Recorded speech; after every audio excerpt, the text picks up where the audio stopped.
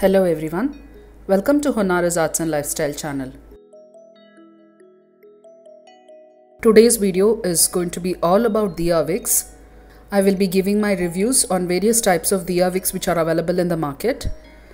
And not just that, I will also be showing you on how to make the best quality of Diya wicks sitting right at your home and also how to soak it and keep it ready so that you can use these wicks at any point of time whenever you're doing puja. So hang in tight and do watch this video completely.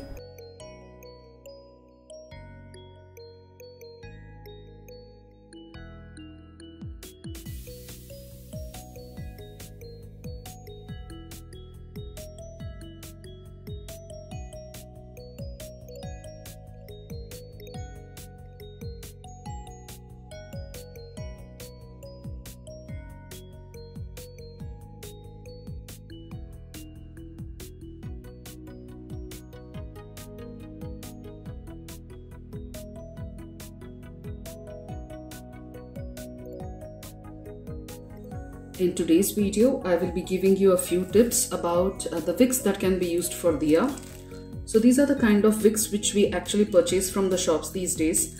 And I have been having lots of problems uh, in relation to these wicks that my diyas are not burning long enough and uh, there is always uh, the leakage of oil and all down and so many other problems.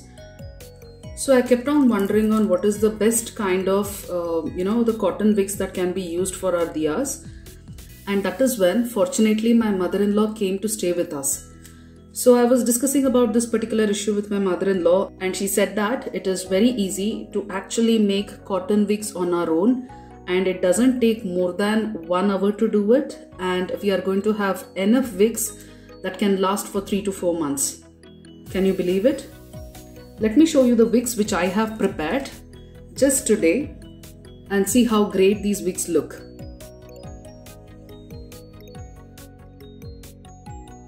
There is no extra cotton which is coming outside of the wick and it is perfectly straight, right? And you can make these wicks as long as you want also. It doesn't have to be short. In case if you have got a very big diya, you can start making wicks which is as long as this.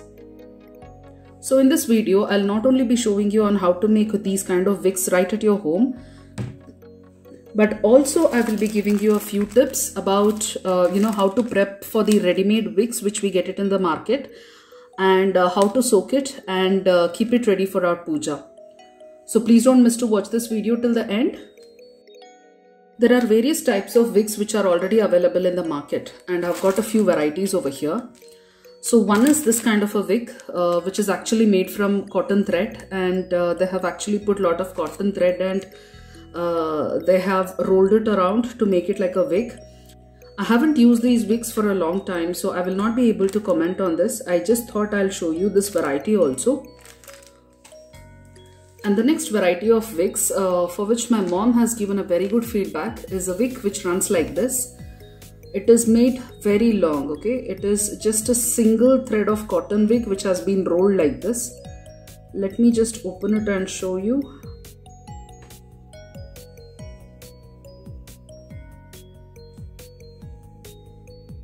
see how long it is running. So basically you can cut this wig into small pieces as and when required. And it seems that this wig is very good and actually we got it from a local shop but I'm pretty sure you should be able to find it online also and in any other shops also.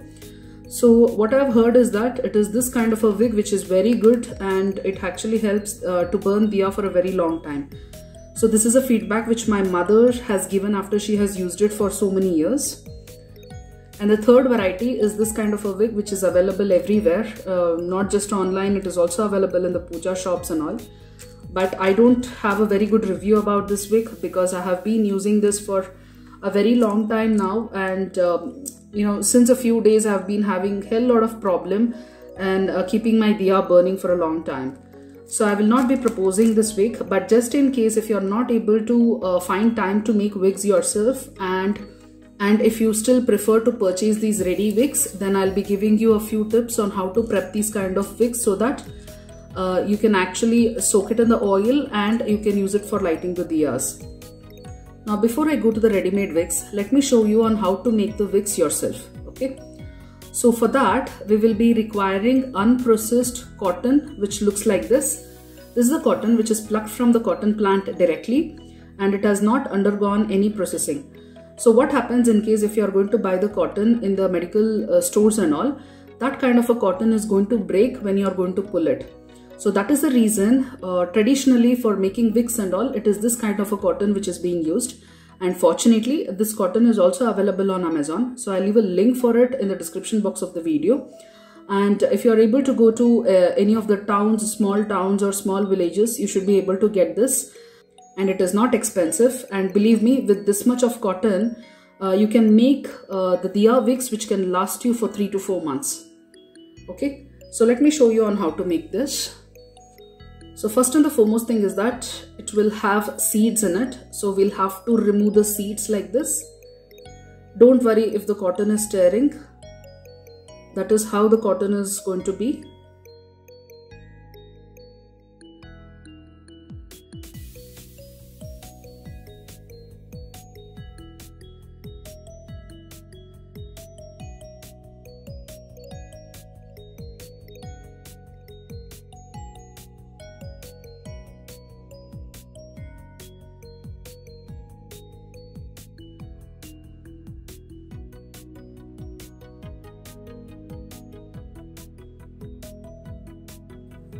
should also make sure that there is no dirt in the cotton okay? Like for example you can see all these black dots over here and uh, you know you can see all these things here and here. So these are all dirty things. So you will just have to remove it. These are all the residue from the plants.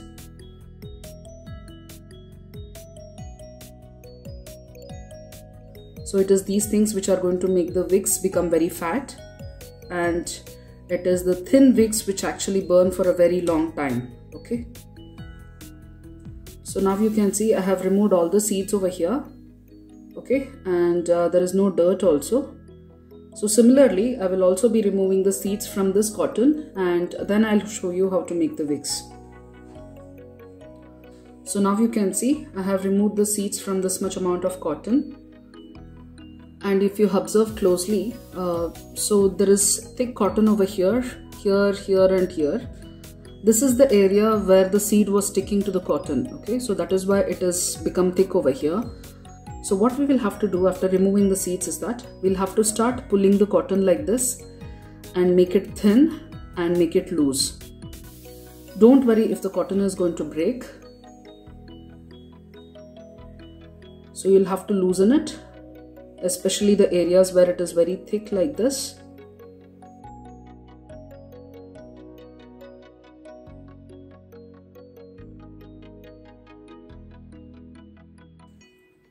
So now you can see we don't have thick cotton anywhere. It has all been opened up. Okay. Similarly, we'll have to prep the rest of the cotton also. So now you can see I have uh, made all of the cotton ready okay so there are no thick areas in the cotton. Now what we can do is we can just club it together like this okay? And then we should start pulling cotton very gently okay? If you pull it too much then it is going to break. Always use the two fingers from this hand as well as this hand. Hold one corner of the cotton like this and start pulling it pull it slowly because if you try to pull it fast then it is going to break. Make sure that the cotton is not thick when you are pulling it. Look at how thin I am pulling it. So it has to be like this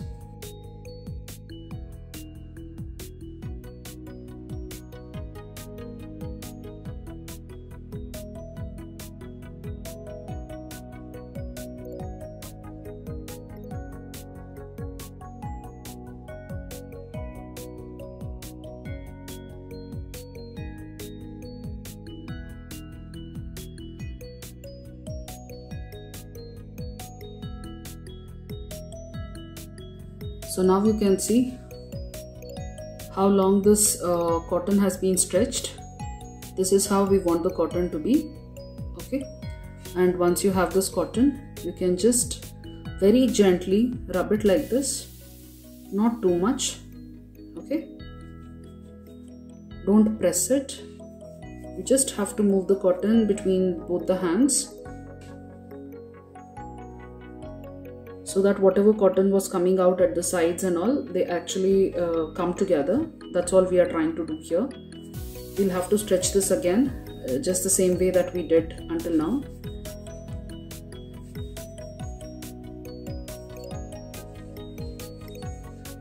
So now you can see it is all coming together. But the problem is that this cotton is still fat okay if you take this much amount of cotton to make the wigs then the wig itself is going to become very fat and it will not burn properly. So that is why we have to pull it again to make it a little more thin.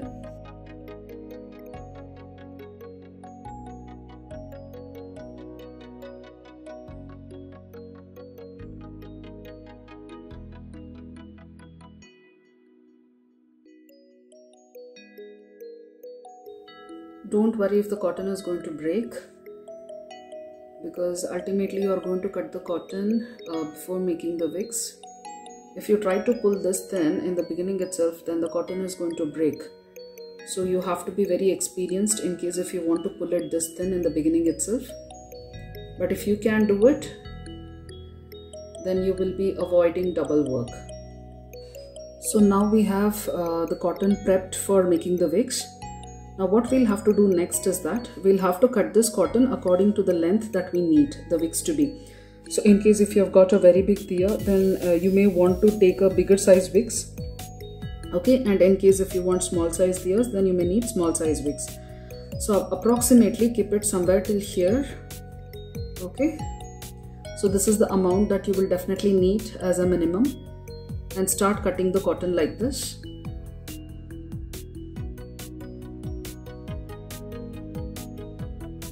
You don't have to be accurate over here. Just keep cutting it on an average. So once you have got your cotton ready like this the next thing that you are going to need is a broom which looks like this. Please remember these are not coconut tree sticks okay? Uh, this is not the stick that comes with the coconut leaves. This is a different kind of a stick. And in Kannada we call this as anchi kaddi parke okay? So it is this kind of a broom which is considered quite auspicious. In fact, in my grandfather's house, it is this kind of a broom that they use it to clean the puja room. And uh, even when there are small babies and all, uh, they usually say that, okay, keep a broomstick uh, underneath their bed and all, right? So that uh, there are no evil uh, forces which are going to attack the baby if there is a broom. So for that purpose also, we are going to use the same kind of a broom.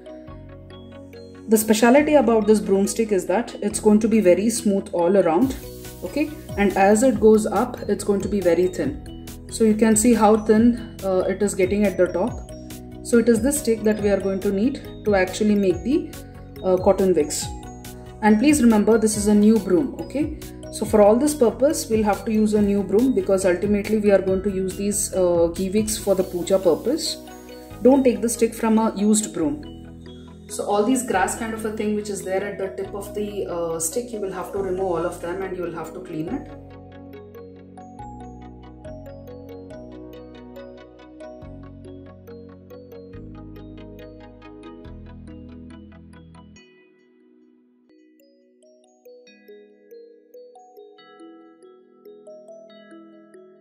So there you go. Depending on how thick you want the wicks to be, you can either choose the uh, thicker portion of the stick or you can choose the thinner portion of the stick. So for me i don't think i'm going to need so thin. So this area is going to be perfect for me. So i'll just be cutting it over here and i'm going to use it from here to make the uh, cotton wigs so to make the cotton wig just take one piece of cotton which you had prepped like this okay? And keep the stick on top of this now, one thing that you will have to remember is that you, you are going to need a rough surface to do this.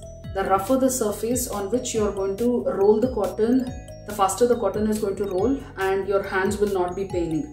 Unfortunately, in my house, I did not have any other rough surface other than this board. Uh, so in case if you have got a wooden table in your house or um, or a wooden board then that is what is going to be very helpful for you So once you keep the stick right in the middle of the cotton, so make sure that you're going to roll it like this, okay? Your hand movement has to go forward and it should not come backward. So your hand movement should always be going in a single direction. And in case if you have taken a long strip of cotton, okay, something of this length and your hands are small and you won't be able to manage it, use both the hands to make this movement okay and you will need both the hands only for the first time when you roll it. Afterwards you're not going to need the help of this hand. So you will have to press your hand and then roll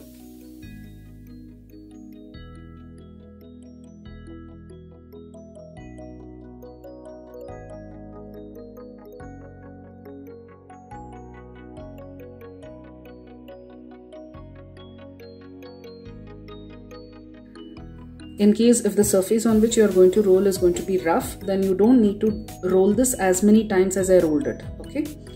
Now what you do is you just very gently hold this tip of the wick and pull out the stick. And there you go the wick is ready.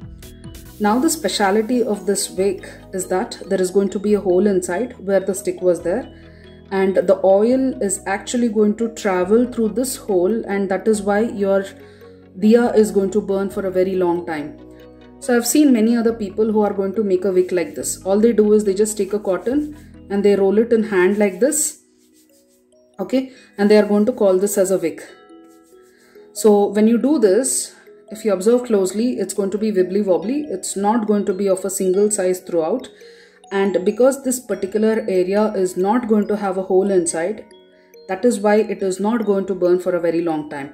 And what happens is when you actually press very hard at one of the surfaces that hole is going to close off and whatever little space which is there in the cotton to move the oil forward that is going to get closed.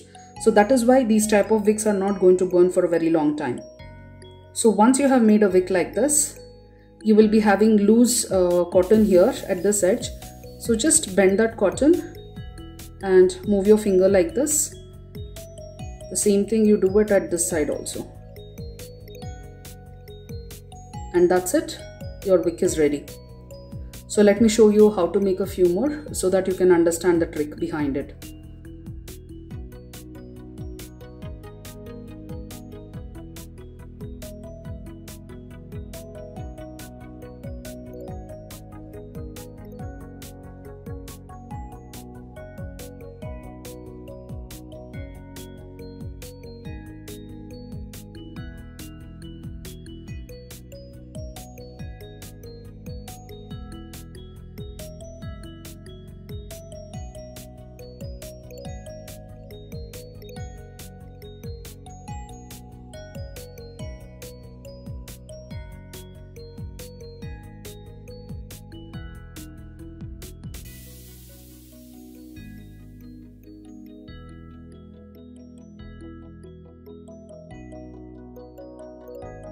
So there you go.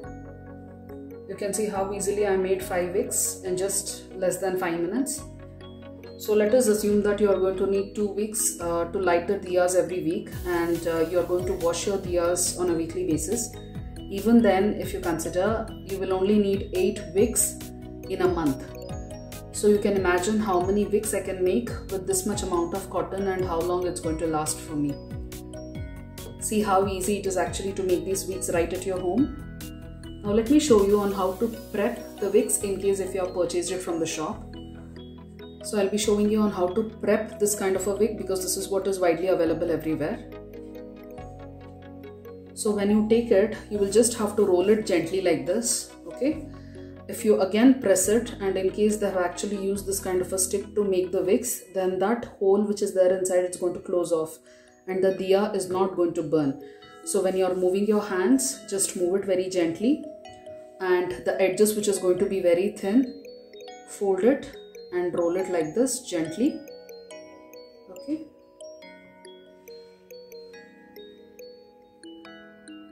And there you go, the wick is ready.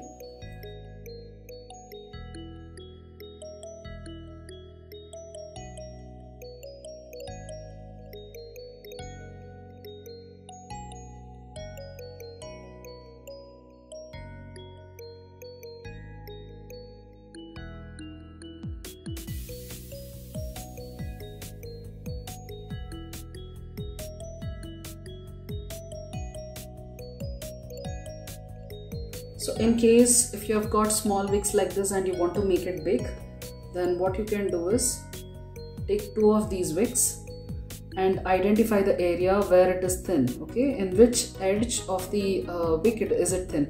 So over here it is not that thin but over here the cotton is thin. And again identify the thinner area for your other wick also and place it one on top of the other overlap it and then move it in the same direction like this.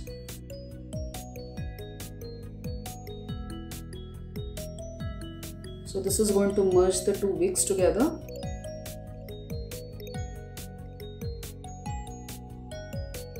And uh, as you can see the wick is fat somewhere and the wick is thin somewhere. See this is how the wicks are being made in case if you purchase it outside. And that is why it doesn't burn really well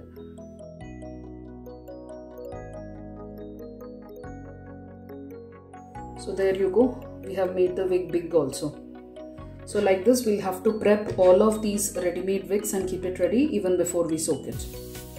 Now let me show you on how do I soak all of these wigs.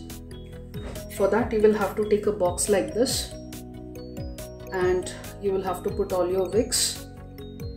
So either you can soak it with ghee or otherwise you can soak it with oil also. And in case if you are going to soak it with ghee then make sure that the ghee is thin enough. That is you should have actually melted the ghee okay and cooled it to become a lukewarm.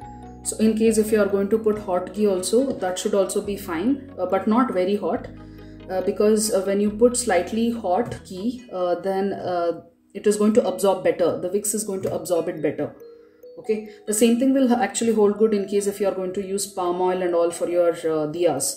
So because palm oil is going to become thick during winter so you will have to actually melt it and then soak the oil. So after you have melted the palm oil or ghee in the winter and if you just leave it for 15 minutes again it is going to become thick. So don't ever use that kind of a thick material of ghee or palm oil to actually soak this kind of wicks because it is not going to soak completely. Over here I'm going to use uh, oil itself to actually soak it because uh, for the ghee diyas I'm going to use a different kind of a wick for that and I've already made a video wherein I show you on how to soak the ghee wicks. And the oil that I'm going to use is the regular Deepam oil uh, which we can get it in BigBasket and all. Nothing special about it it is gingerly oil uh, mixed with groundnut oil I think. So once your wicks are ready like this in the box then you can just pour the oil directly. Pour it everywhere on the wick so that it soaks really well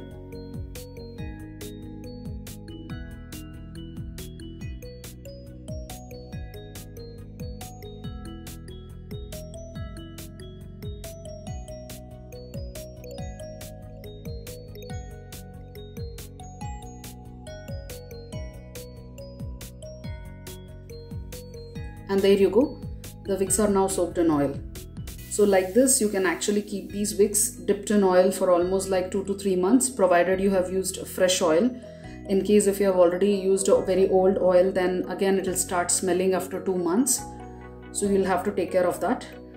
But the advantage of soaking the wicks like this is that your diya is going to burn for a very long time rather than using the wicks directly onto the diya and then lighting it. Okay so this completes today's video. I hope you all have liked this video. If so, please click on the like button and subscribe to my channel. And don't forget to click on the bell icon to get automatic notifications every time I release a new video. Thank you.